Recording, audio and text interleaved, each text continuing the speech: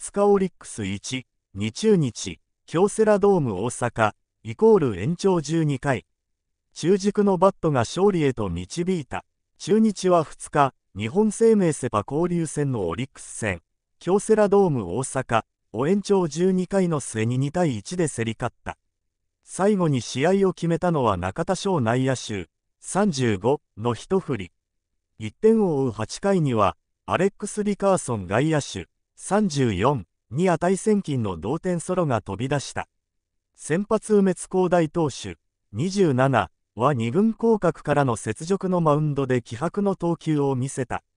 チームは苦しみながらも連勝で4位浮上。4日からバンテリンドーム名古屋で始まるソフトバンク3連戦へ向かう。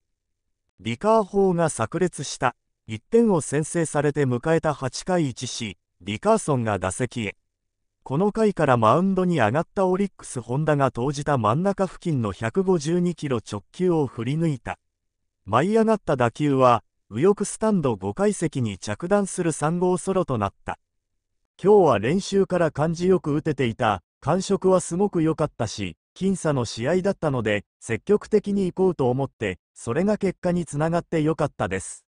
悠々とダイヤモンドを一周し、仲間が待つベンチへ、ハイタッチを交わし、最後に必殺技を繰り出した。まずは藤島に向けて一発、そして中継カメラに向かってもう一発、計2発のカメハメハをお見舞いした。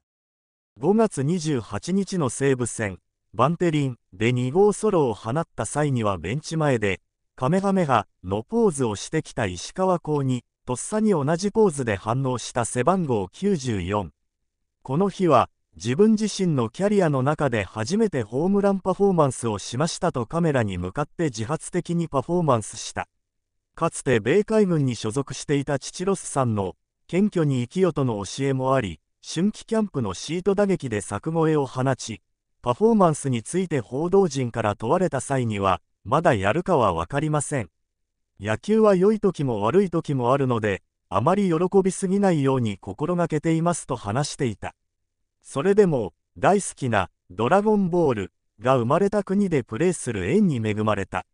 周りの人も勧めてくれたし、日本に来て少し違う文化の中で一つ良い刺激になるかなと思う。